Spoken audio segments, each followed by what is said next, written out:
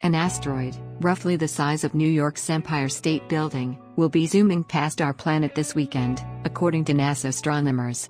NASA's Center for Earth Object Studies website regularly posts updates on close approaches to Earth. Several other objects are expected to zoom past Earth this week, as per NASA calculations.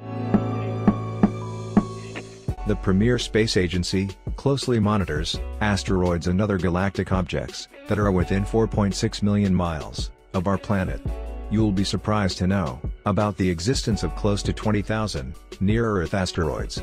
These asteroids occasionally make an appearance. In 2013, a deadly asteroid slammed into Russia and caused significant damage. Asteroid NN4 is expected to zoom past our planet this Saturday.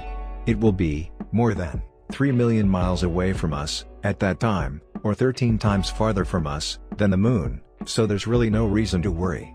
No, please don't change your plans. Nothing dramatic is expected to happen this weekend or anytime soon. Hashtag stay safe.